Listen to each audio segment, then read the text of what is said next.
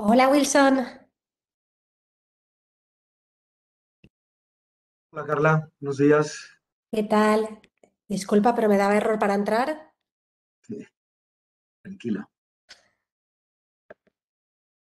Buenos días para todos. Eh, es para nosotros un placer que nos estén acompañando el día de hoy. Eh, vamos a hablar sobre el presente y futuro de la gestión patrimonial familiar en un entorno cambiante. Eh, queremos informarle que la sesión será grabada y posteriormente compartiremos con ustedes las memorias y la grabación. sin más preámbulos, le damos nuevamente la bienvenida. Le doy la palabra a Wilson Herrera, socio de la Unidad de Estrategia Familiar de PwC Colombia. Adelante, Wilson. Muchas gracias, Andrés. Bueno, eh, buenos días a todos. En nombre de la Unidad de Estrategia Familiar de PwC en Colombia, les damos la bienvenida a este evento sobre el presente y el futuro de la gestión patrimonial familiar en el contexto de un entorno tan cambiante como el que tenemos en este momento. Para nosotros es eh, un gusto contar con ustedes esta mañana para hablar de un tema que consideramos tan pertinente como este y contar, por supuesto, con nuestros invitados a quienes agradezco su presencia hoy aquí y que, y que ya, les iré dando, ya les iré dando la palabra. Eh, y este, este, este tema, este tema que hoy nos reúne, que es un tema pues siempre importante, eh, como sabemos ha cobrado una, una especial relevancia en las últimas semanas, porque como todos sabemos, el Consorcio Internacional de Periodistas ha filtrado casi 12 millones de documentos que contienen información relacionada eh, con sociedades constituidas en jurisdicciones calificadas como, como no cooperantes o como paraísos fiscales, así como la, la identidad perdón, de sus propietarios o accionistas. Esta filtración de información pues, ha, puesto, ha puesto nuevamente sobre el tapete la discusión sobre los factores que pudieran llevar a un grupo empresarial o a un grupo familiar o incluso a individuos a establecer y mantener estructuras corporativas en el exterior, eh, así como las responsabilidades legales y tributarias que se derivan de ese tipo de estructuras.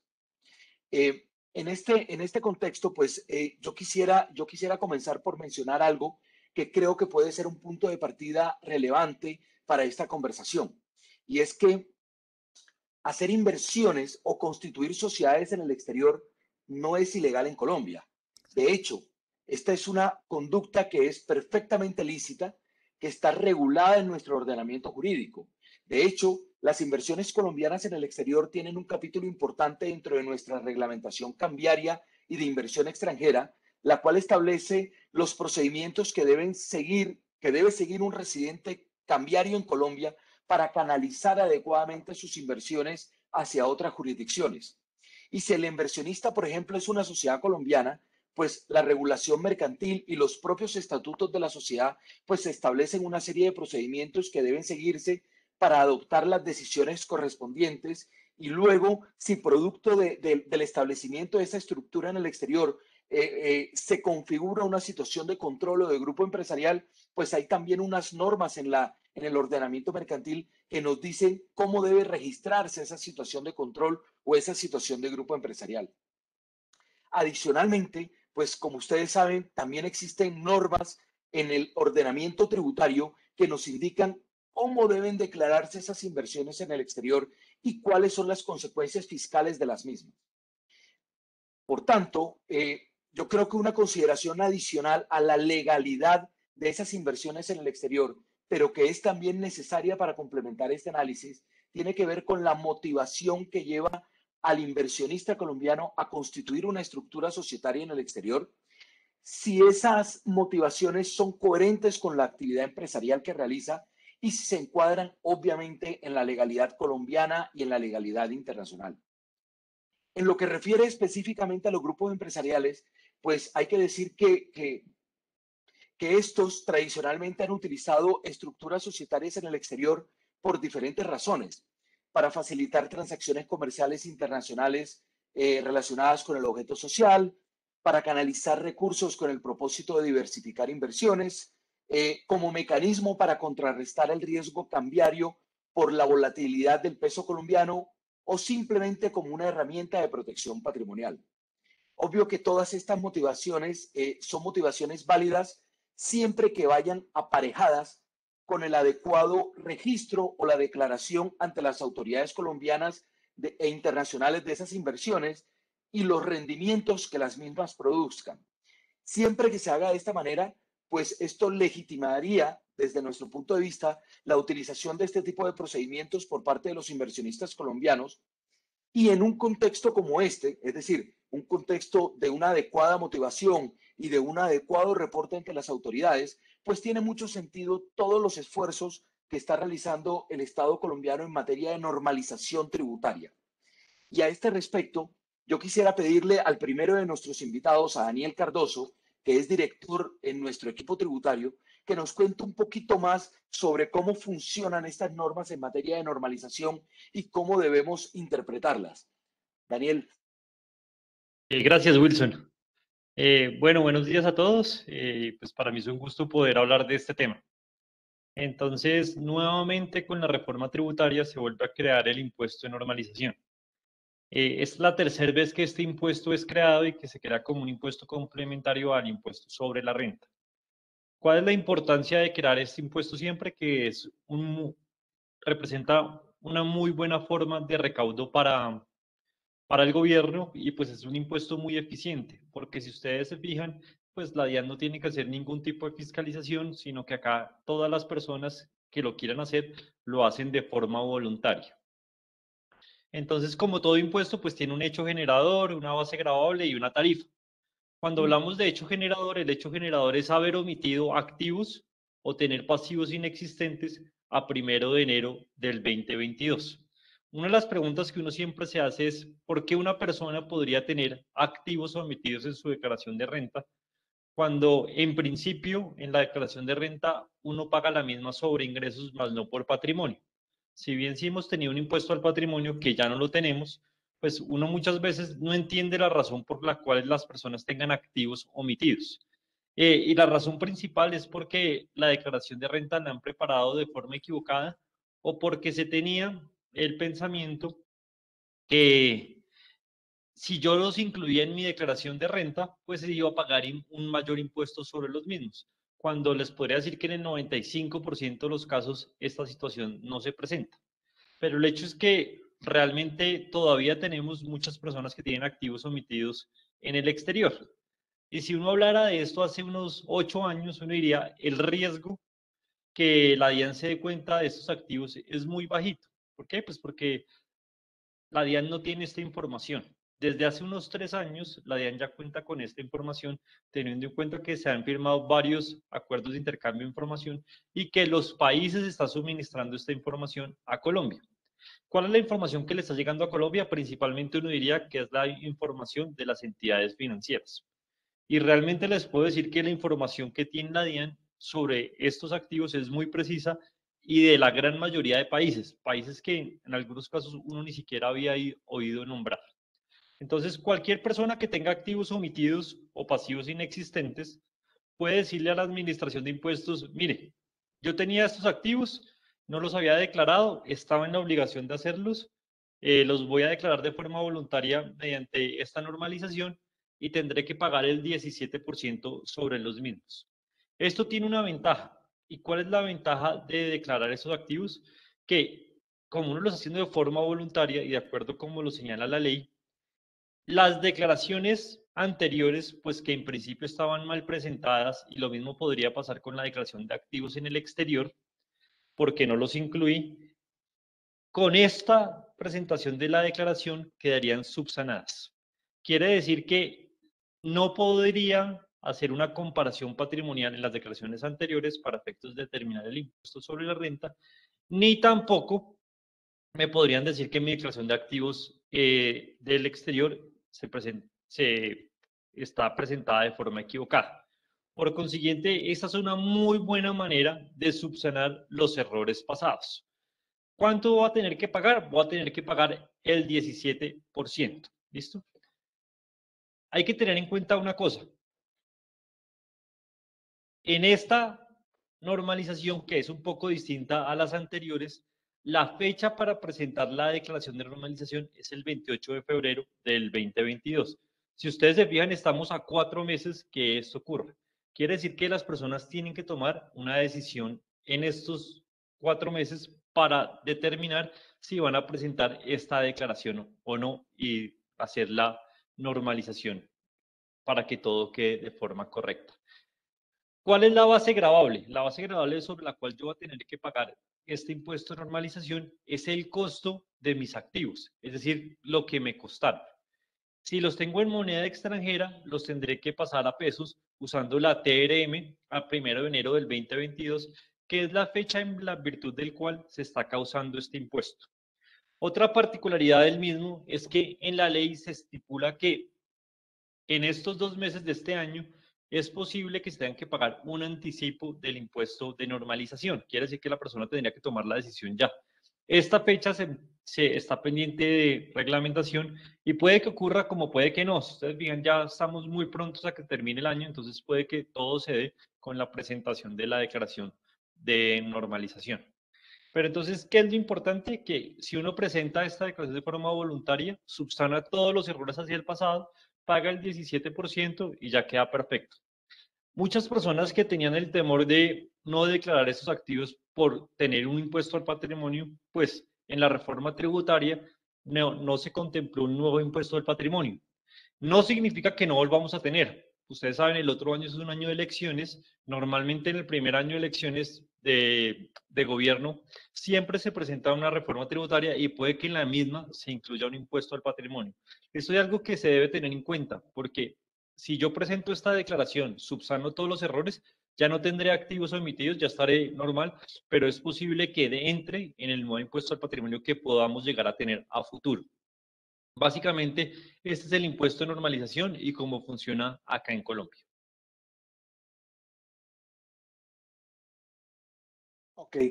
Clarísimo, pero de todas maneras, eh, yo, creo que, yo creo que estamos de acuerdo, Dani, en que es, en que es una forma bastante eficiente de regularizar eh, eh, de pronto situaciones en las cuales los grupos empresariales o las familias empresarias o, o los grupos familiares han omitido sus activos en el exterior por cualquiera de los temores estos que tú anotabas antes y de esta manera pues ajustarse completamente a la legalidad en Colombia, ¿no?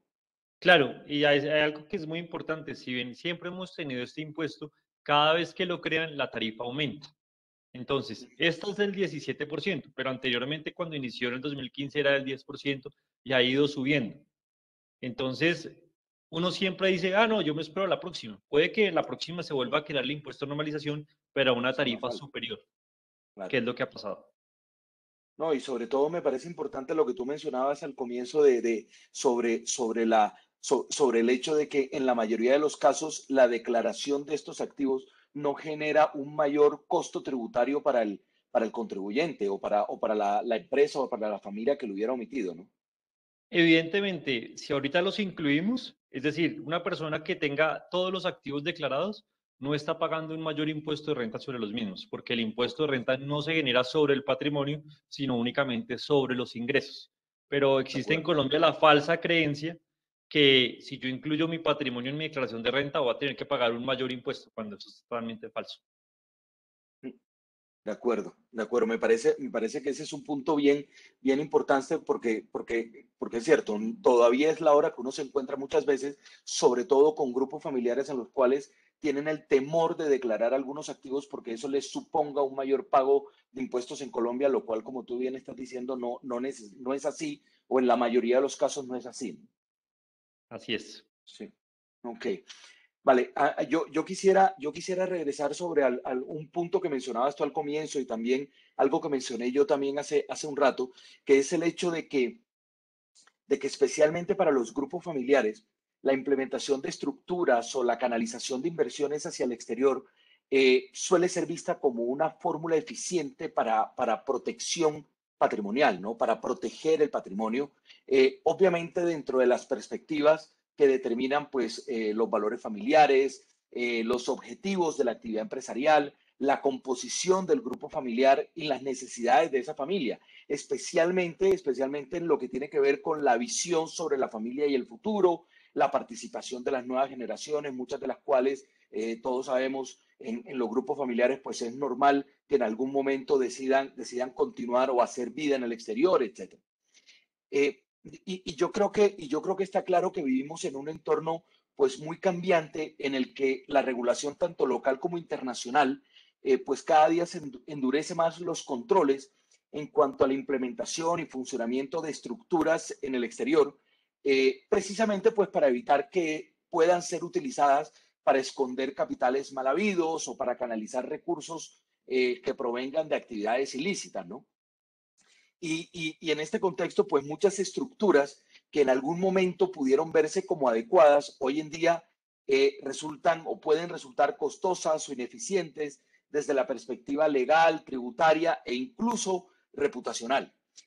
Eh, de allí que yo creo que coincidiremos todos en que, en que este es un buen momento para revisar estas estructuras o algunas de estas estructuras de cara a adaptarlas a las exigencias y requisitos actuales eh, de forma tal que se cumplan los requerimientos de transparencia y de sustancia que requieren las normas vigentes, obvio siempre teniendo como foco la realidad de los objetivos del negocio para las que fueron pensadas o para las que, para las que se implementaron. Y, y, por eso en este momento yo quisiera darle la palabra a otra de nuestras invitadas, a Carla Cerqueira.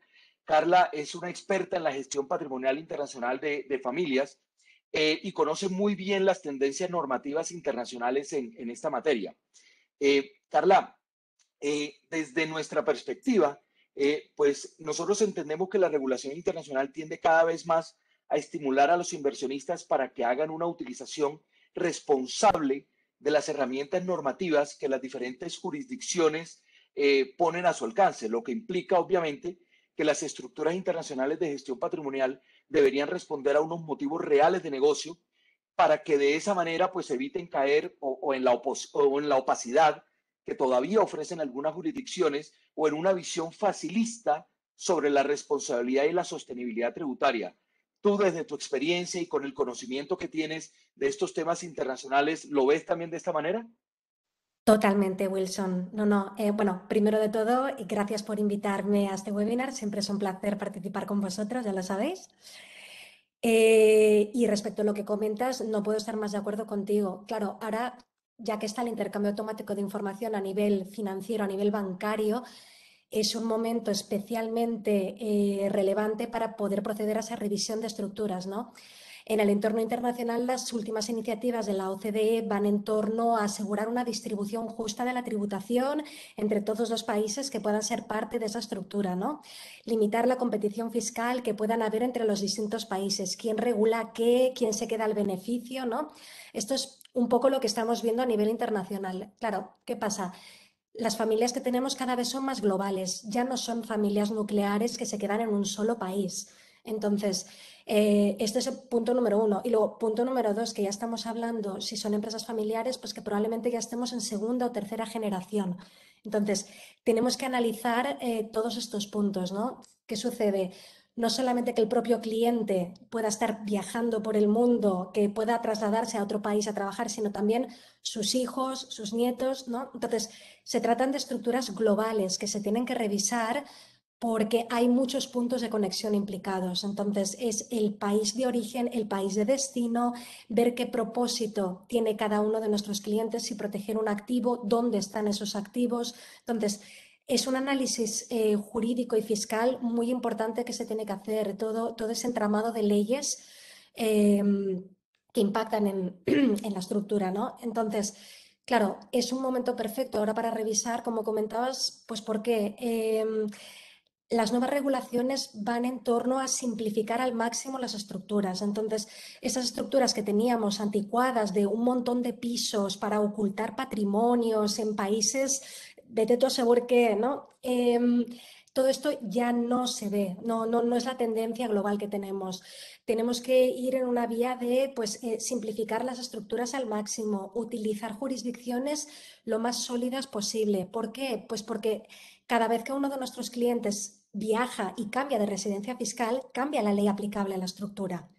Entonces, para evitar esa reestructuración continua que siempre, siempre implica unos costes fiscales, aparte de abogados estructurales y todo lo que puede implicar, es una solución mucho más estable irnos a este tipo de países, además de que son países que no, que no están cambiando la ley cada año, que entonces implica también otra revisión de la estructura, ¿no? Entonces, tendemos a ir a soluciones mucho más simples, estables en el tiempo, que puedan ser válidas múltiples eh, jurisdicciones y sobre todo analizando muy bien los, los, motivos que sustentan esa estructura, ¿no? Como tú muy bien eh, comentabas, el tema de la sustancia económica se ha convertido en el pilar eh, fundamental de cualquier estructura. Entonces, muchos clientes quieren, pues, eh, simplemente eh, pues, em, planificar el traslado a la siguiente generación de su patrimonio o la protección del mismo. O si es un negocio corporativo, pues obviamente que está el tema de la libertad de establecimiento y las empresas globales, cualquier multinacional. Tenemos derecho a establecernos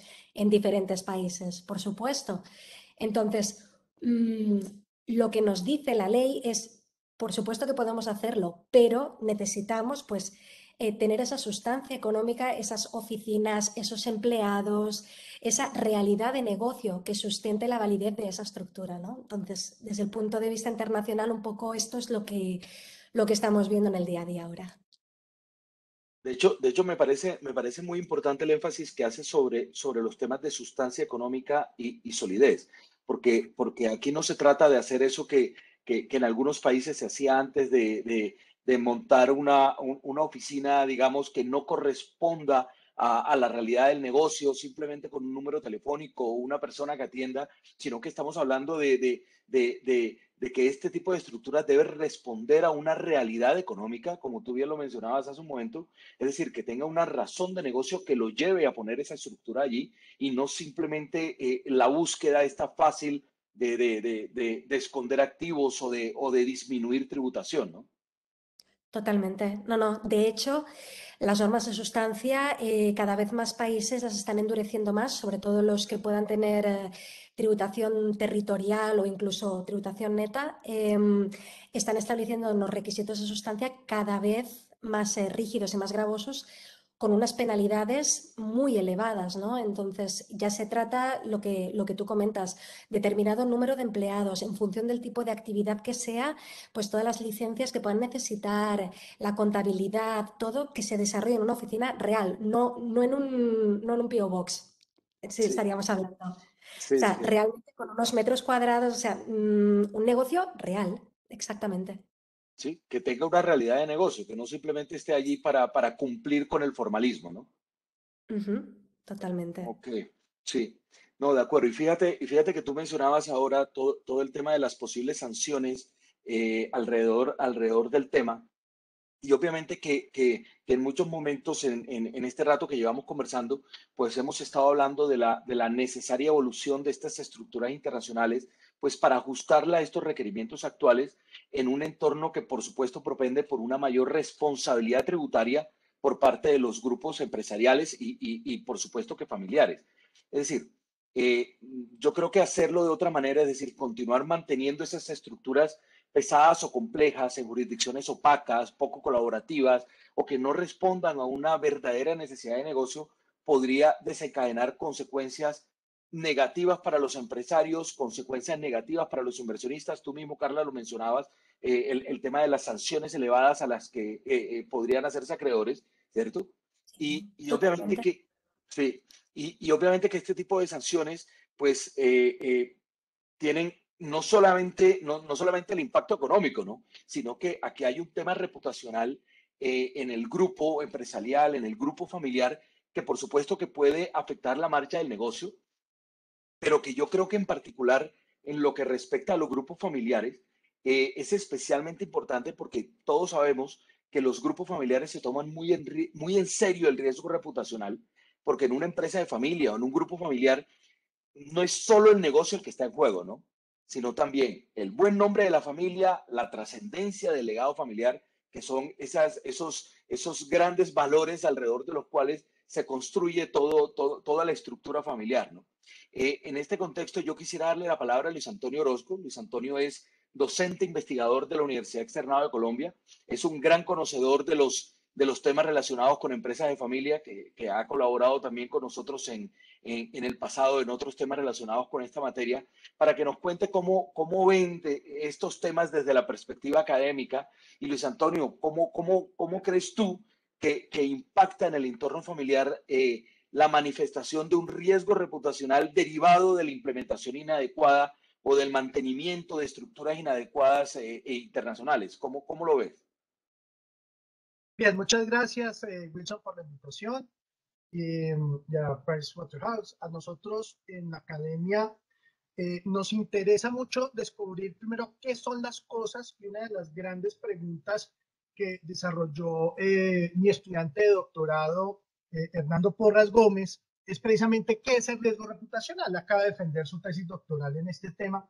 Y nosotros llegábamos después de eh, un largo de cinco años de investigación a entender que esto no es cuestión de distribuciones de probabilidad, sino que es una forma en la que las personas van haciendo una evaluación de la información que circula alrededor, tratando de identificar peligros y evaluando eh, de esa forma amenazas. Entonces, emerge, digamos que en el, en el marco de la, de la comunicación, eh, de ahí se incluyen medios masivos, se incluye el rumor, el, el, el, chisme, los blogs. Entonces, hay un cúmulo de información donde eh, el, el, empresario que está eh, identificando peligros, un peligro está allá y usted no puede hacer eh, eh, nada contra ese peligro, pero sí lo detecta.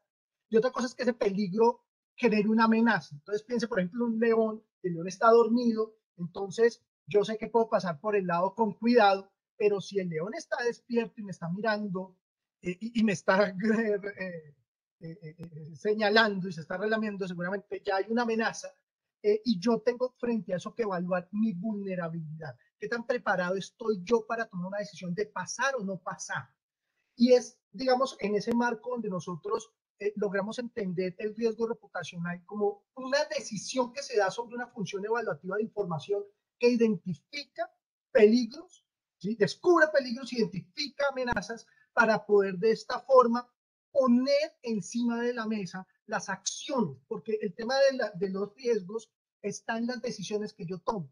Y cuando yo lo pongo encima de la mesa y entiendo que hay una situación que me conduce a un posible daño, busco las formas de mitigarlo. Entonces, en ese sentido, para nosotros es muy importante el, el, el disclosure, la, la, revelación corporativa. Digamos que uno de los análisis eh, eh, en, la segunda parte de la tesis eh, de, del doctor Porras es precisamente encontrar cómo las grandes corporaciones hacen revelaciones de información dentro de esas el riesgo reputacional. Cuando usted ya lo reconoce y lo pone en, en palabras y lo comunica la organización, pues estamos, digamos que en este caso, los miembros de la familia, atentos y cuidadosos para que sea muy congruente las cosas que decimos y las que hacemos, de forma tal que podamos, en ese sentido, mostrar una imagen eh, a, los, a los grupos de interés acorde con lo que nosotros expresamos en los valores de la familia, que, que, que bien introduce eh, Wilson, ¿no? esa extensión de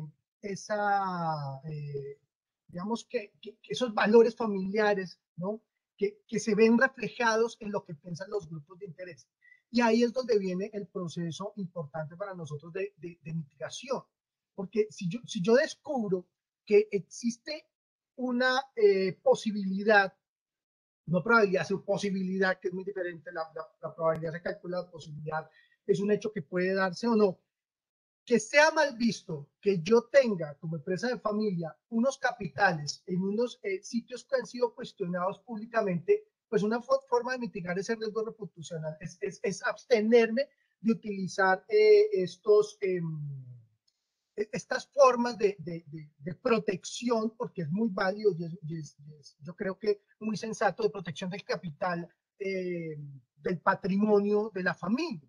Entonces, buscar otras formas en las que no se puede haber afectado el buen nombre, porque el, grupo de interés obra sobre una percepción. Entonces ya cuando el medio de comunicación y los blogs y las conferencias van generando una idea muy negativa sobre estos eh, lugares donde uno puede eh, abrir cuentas y mantener eh, capitales con esa creación de, de, de, imaginarios, es para evadir impuestos, es que puede haber blanqueo de capitales, es que entonces en la gestión de riesgo reputacional es evalúe esos peligros, identifíquelos, póngalos encima de la mesa, escríbalos y de esa forma busque no eh, generar acciones que lo, lo, conduzcan, en este caso, pues a poner su patrimonio en lugares que pueden ser eh, cuestionables y de esa forma es, es prevenirlo, ¿no? La, la, gestión de riesgo reputacional no es ir a apagar incendios y a resolver ya problemas, sino cómo usted se prepara para evitar que se generen estos escándalos en los que el buen nombre de la familia y de su organización se ven involucrados. Porque fíjate, fíjate Luis Antonio, que tú has mencionado dos cosas que me parecen bien importantes. Una tiene que ver con, con la transparencia, es decir, con, con, con mostrar las cosas, por poner, ponerlo en negro sobre blanco y hacer esa evaluación correcta de los riesgos antes de que el riesgo se materialice. Pero has hablado de una cosa que me parece incluso más, más importante, pero al mismo tiempo un poco más difícil, que tiene que ver con la coherencia, ¿no? Con la coherencia entre esos valores que inspiran, que provienen de la familia, que inspiran la actividad empresarial, que trascienden al propio negocio versus lo que la imagen que le estoy mostrando al público. Y, y, sobre todo, sobre todo el tema de coherencia, porque, porque al final si mis acciones no coinciden con los valores que promulgo, pues cómo me va a ver el mercado eh, eh, en, ese momento, ¿no? Sí, es precisamente el, gran problema de, esa coherencia en la medida que usted pueda generar eh, acciones que, por, eso la importancia de los reportes corporativos, que estén en función de las cosas que usted dice y que usted en sus informes en sus revelaciones eh, pone a disposición del público. Entonces es muy importante generar esa cultura de revelación y en esa revelación de identificación de riesgos y que usted sea congruente con ello. De acuerdo, completamente de acuerdo. Vale, eh, no sé, en este, en este momento me parece, me parece que hemos abarcado ya al, la mayoría de los puntos principales eh, sobre los que queríamos plante o que queríamos plantear en la sesión de hoy. Eh, y a mí me gustaría darle los próximos, los próximos minutos a, Jean-Pierre Lenard, que es eh, miembro de nuestro equipo de Clients and Markets, que es una persona que ha, que ha trajinado mucho por todos estos temas, para que nos ayude un poco a sumarizar eh, algunas de las principales conclusiones que, que, hemos podido sacar de lo, que, de lo que nos ha dicho cada uno de, los, de nuestros invitados. Jean-Pierre. Buenos días a todos. Gracias, Wilson. Sí, yo pienso que yo voy a, en, en dos, tres minutos, generar conclusiones y más que todo proponer recomendaciones prácticas. Yo pienso que lo que el mundo de los contribuyentes necesita son recomendaciones prácticas de cómo operar en este entorno tan cambiante. Y, y cuanto a las conclusiones, la, primera es que yo pienso que, que el mundo de los contribuyentes, tanto, tanto corporativos como personas naturales, nunca han necesitado tanto estructurar es un entorno, fíjate, uh, a nivel corporativo, uh, lo que pasó los, las últimas tres semanas, el presidente Duque hizo una excelente labor y estamos viendo un flujo de inversión directa hacia Colombia enorme. Uh, él estuvo en Washington, en Nueva York, estuvo antes en España, estuvo, va ahora, está en Francia y también tuvimos el Colombia Investment Summit. Podemos sumar también el excelente labor de ProColombia este año que hizo que vamos a atraer decenas de empresas de nearshoring que ven a Colombia como un hub en el post-pandemia. Entonces, a nivel corporativo, vemos este monto enorme de inversión directa, son billones de dólares. También eso fue a la par con la, la firma de, de, acuerdos de protección de inversión. Es decir, que sí, allá va a haber estructuración eh, muy importante hacia Colombia y también hacia estos países, porque obviamente es inbound, outbound. Y a nivel de, de las personas como de, de, de, familias, también el entorno es muy, muy, uh, muy particular en la pandemia. No solamente la pandemia, pero por el riesgo político en la mayoría de los, de los países de la región. Uh, hemos visto recientemente unos flujos de inversión desde América Latina hacia países como Europa. ¿Por qué? Porque, por ejemplo, lo que pasó en Perú, son billones de dólares que ya salieron, y había pasado lo mismo con México, en Chile, con la nueva constituyente, seguramente va a pasar lo mismo. Hay un riesgo. Y en Colombia, pues sabemos que hay elecciones el año entrante y hay personas que, que que, que, que tienen miedo. Entonces, fíjate que la primera conclusión es la necesidad de estructurar tanto para invertir o proteger nunca ha sido tan importante, tan necesaria. Y frente a eso, obviamente estamos en un mundo de estigmatización con los leaks eh, con los Pandora Papers, con anteriormente los Panama Papers, hubo también los leaks de Bahamas en la región. Pero yo, yo, te cuento que en mi experiencia como internacional, yo no lo veo tan como, es una amenaza, pero no, no tan como real. Yo pienso que hubo mucho show-off de los periodistas. Ah, para mí me da mucho tristeza, por ejemplo, un, artículo como en El País de hace tres semanas que hasta una firma tan reconocida con, como Baker McKenzie fue como realmente como mostrada como, sí, como unos delincuentes casi. Si tú lees el artículo de los periodistas del, país, sí, era la conclusión. Pero es, los leaks siempre han existido. Ah, en, en, otra parte del mundo, en particular en, en Europa, tuvimos varias veces leaks en particular en los bancos grandes de Luxemburgo. Uh, se, se, despedían funcionarios del banco y a su vez se llevaba con la base de datos de los clientes. Y obviamente la fiscalización de contribuyentes ni siquiera tan ricos, pero en particular de países de Holanda, Alemania, Francia y Bélgica. Porque históricamente las personas tomaban el tren con la maleta de billetes para depositar sus ahorros en los bancos de Luxemburgo, en particular como la BIL, como el HSBC pero al final no había estigmatización en la prensa, más bien pagan impuestos normalizan. Eso pasaba. Pero acá vemos que realmente como la túnica de los periodistas muy agresivas. Pero repito, las dos primeras conclusiones, las principales, es uno, vamos a seguir estructurando y dos, pues sí, hay leaks, va, a haber más leaks siempre, además con, con la disruption de, la, de los fiscos, los intercambios de información, la inteligencia artificial incluido que, que, utilizan los fiscos, va a haber más clics, más acceso a la información, lo mismo de los periodistas. Las conclusiones, las recomendaciones, que es lo, más importante, que tienen que ser prácticas, no tanto de, del punto de vista como normativo. Yo pienso que, eso tú lo mencionaste, también lo mencionó Carla, hay que hacer algo con las estructuras existentes, claramente toca revisar, toca simplificar, probablemente en lo que está en la región toca migrarlo. Tenemos que estructuras que no han cambiado en 20 años. Tenemos estas holding de Panamá con tres pisos. Tenemos, podemos tener grupos colombianos que tenían tres líneas de, de negocios, entonces tienen a su vez tres holding, tres subholding. Eso no, toca, toca revisarlo, toca intentar como ponerle más tecnología, ser muy cuidadoso. No puedo tener el back office acá sí, Family Office, el IP en Panamá. Entonces, la conclusión es, hay que revisar y las nuevas, pues sí, toca obviamente hacer un DOFA. Yo pienso que siempre va tenemos que hacer un DOFA y hacer un mapeo de riesgo, riesgo reputacional, riesgo legal, tributario, político, y, ver este DOFA en función de dónde ir, qué quiero, que, quiero proteger. DOFA es debilidad, pues sí, Panamá ahora es débil, BVI es débil, obviamente que lo es. Oportunidad. Vemos a UK en el post-Brexit como una, una, oportunidad, un refugio. Claro que sí. Suiza lo mismo, tiene su CDI. Suiza aparece hoy como todos esos Pandora Papers como la, la perla porque no, no he visto tantos leaks de Suiza. Quiero invertir en, en Miami, que es un buen momento, lo hago con el South Dakota Trust, eso sí es una oportunidad, eso es, es sólido fortaleza, obviamente en, la, en el post-COVID, Estados Unidos, la Unión Europea, Suiza salen como ganadores. Yo pienso que la, la gente está mirando estas jurisdicciones como, como unos refugios. No hay que ir a, invertir más a Estados Unidos a través de, de Nueva Zelanda, por ejemplo. Toca, como lo, lo hemos mencionado eh, anteriormente los panelistas, realmente utilizar jurisdicciones que van con mis objetivos. Y amenazas, obviamente, sí, los leaks es una amenaza.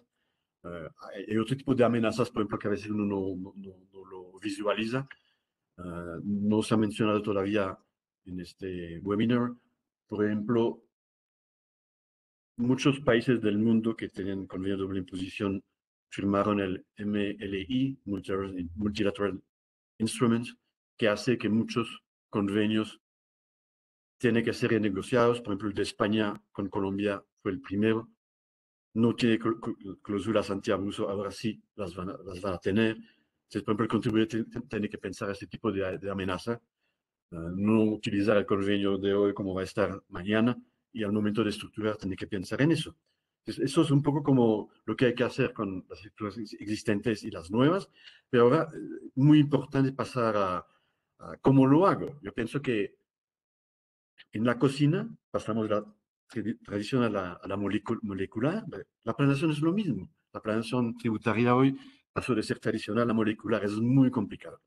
Entonces, al momento de estructurar, no puedo solamente hacerlo con unos abogados locales. Tengo que tener un pool que sea transversal, pluridisciplinario y que sea internacional. Y el pool tiene que incluir, y al mismo tiempo, desde el primer día, desde el kickoff, tienen que trabajar juntos. No ir a buscar al tributarista cuando yo presento la declaración de renta al año entrante, no, no. El abogado, el tributarista, el contador, obviamente el tecnólogo, porque tendré que poner mi, mi, IP allá en España si tengo un EDVE, y, hasta un, proveedor de BPO, porque necesito mis empleados allá para dar la sustancia. Entonces, eso es la, la, primera recomendación cuando yo voy a planear una estructura, como realmente tener como unos asesores que están, que están completos. Y obviamente va a tener que tener un conocimiento de todo este entorno global, fiscal, tributario, que es cambiante. Todavía, todos los días hay algo nuevo. Colombia ha avanzado muchísimo en implementar, por ejemplo, todas estas reglas de, de BEPS. Entonces, listo un pool de asesores que pueden revisar los vehículos de inversión, los CDIs, los, acuerdos de protección de inversión, que me pueden hacer un test de una, si es una estructura como para los herederos, planación sucesoral, test de residencias, la sustancia. También yo lo puse, a colación el tax disruption. No hay que olvidar que tanto los fiscos como la, los impuestos, como los departamentos tributarios están enfrentándose a una disrupción hoy. Eso quiere decir que si el fisco puede tener acceso vía inteligencia artificial a las, a las estructuras de afuera, me toca moverme porque el mundo cambió. Acá estamos hablando de e-assessment, decir que eso nos llega ahora como en el, el correo personal. A mí me llegó como eh, de, desde Bélgica el año pasado, una, y, y, no, desde Colombia al contrario, una, una invitación a, a, normalizar una pequeña cuenta bancaria porque mi papá murió hace tres años. Yo había sacado toda la plata, pero sin embargo ya tenía la información. Me llegó en el laptop. Es decir, eso quiere decir que nos cambia mucho la vida. Claro. Es un poco claro. eso. Yo creo que podemos hablar mucho más de todos estos temas, pero eso eran la, las recomendaciones, Wilson. Gracias. Perfecto. Muchísimas, muchísimas gracias, Jean-Pierre. Eh, yo quisiera aprovechar estos minutos que nos quedan para que le demos la palabra a, nuestros, a nuestros asistentes. Yo sé que ya tenemos algunas, algunas preguntas en el, en el chat.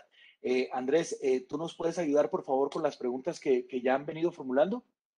Claro que sí, Wilson. Actualmente tenemos una pregunta de Germán Gustavo nos dice, ¿qué se debe tener, qué se debe entender como activo final? ¿Cuál existe un trust? Creo que sería como para Daniel o para Carla la pregunta.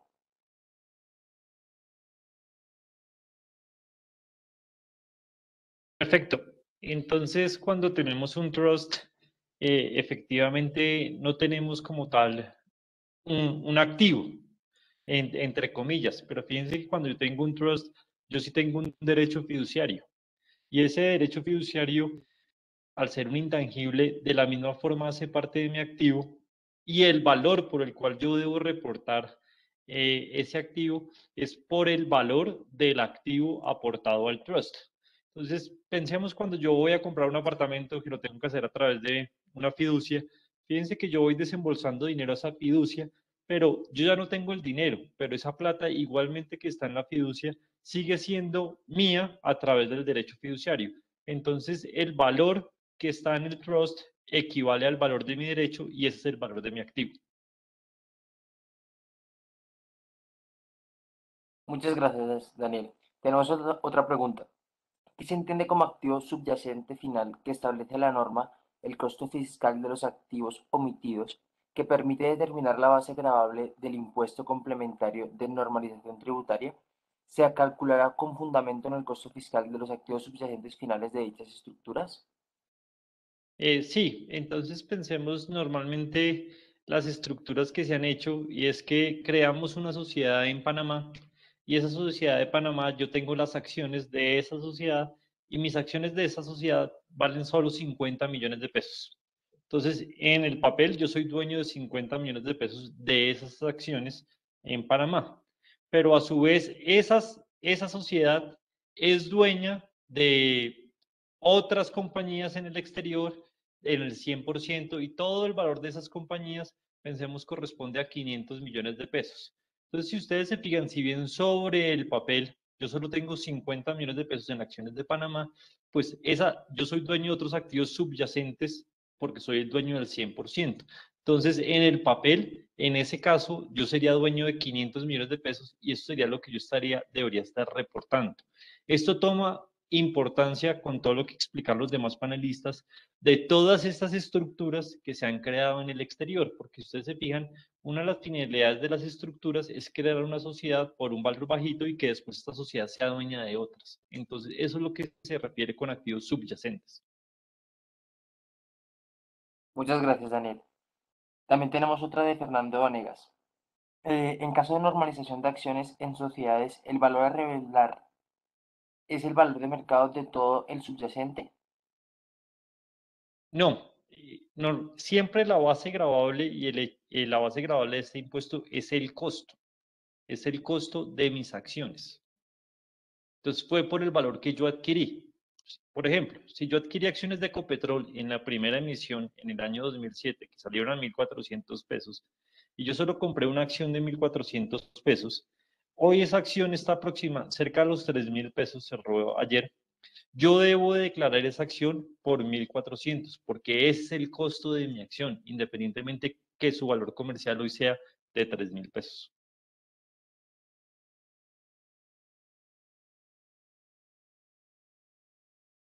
Ok.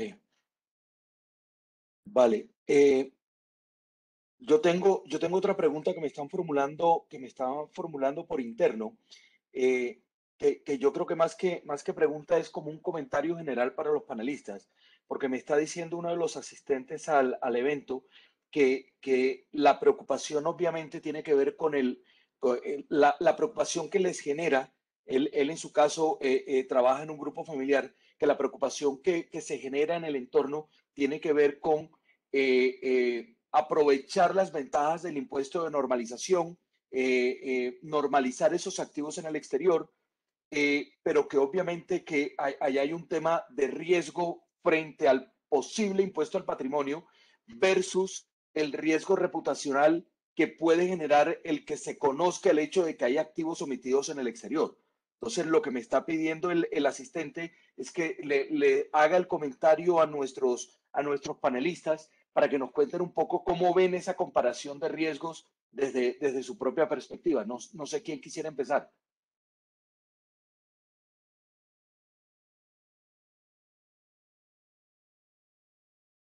Bueno, yo haría un comentario sobre esto y es que eh, hay, hay, hay, diferentes formas de la evaluación del riesgo eh, y en el caso reputacional, la generación de aplicaciones, eh, por ejemplo, eh, un estudiante mío, Gabriel Moreno, hace el desarrollo de, un crowd para mirar la información en medios de comunicación y en redes sociales para evaluar los, flujos de las opiniones y las polaridades de las opiniones, para con ello tener una idea de dónde y quiénes y dónde están hablando eh, sobre mí y en qué sentido hablan. Entonces, precisamente, o sea, la, la, la, evaluación de los riesgos, de dónde coloco mis capitales y si la percepción está en función de que yo busco eh, tener ventajas tributarias, pues tiene formas de evaluarse porque es importante eh, tener claro que no en todos los sitios, y ya lo hemos dicho acá, no es ilegal tener la posibilidad de poner eh, a salvaguarda